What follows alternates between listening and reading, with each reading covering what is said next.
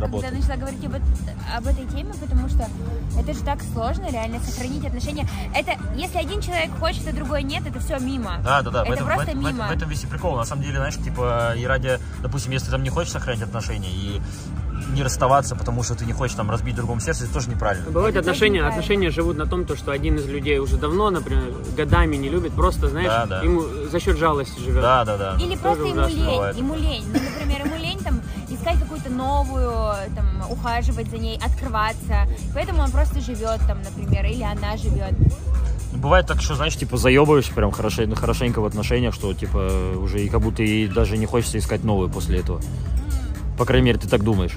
Да. Вот, потом, а по факту получается- бах, и просто тебе встречается Да, кто-то, знаю. он или она, и ты просто с ума сходишь. Ты типа видишь, что ты уже думал, что не может быть такого чувства, оно вновь рождается. Блин, это интересная тема, Да, это на самом деле, чувство. Согласись, ты сам говоришь,